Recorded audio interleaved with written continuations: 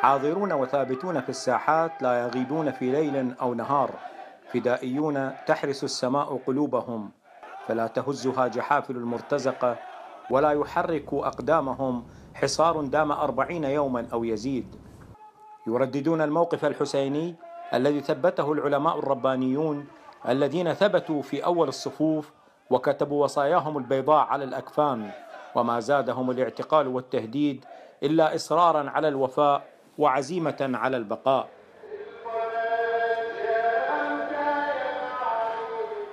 أحيا المعتصمون ذكرى شهادة الإمام الصادق وسجلت في ساحة الاعتصام بالدراز مراسم الأصالة والهوية فارتفعت المراثي وضج المكان بمواكب العزاء.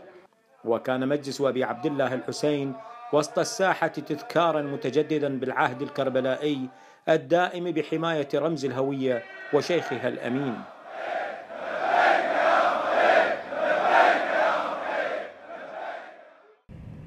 للأسبوع الثاني على التوالي منع الخليفيون صلاة الجمعة عن جامع الإمام الصادق وكأنهم يرون الجامع في اسمه ومكانه إشعارا دائما لهم بأنهم دخلاء ومحتلين.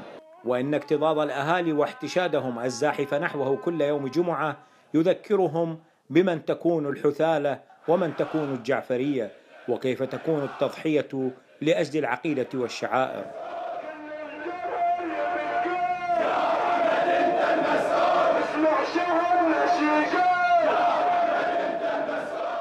الثبات ينتقل من الدراز إلى بقية البلدات والمناطق ومن هذه البلدات يعود إلى ساحة الاعتصام التظاهرات الواسعة عمت البلاد في سلسلة أخرى من جمعة الفداء.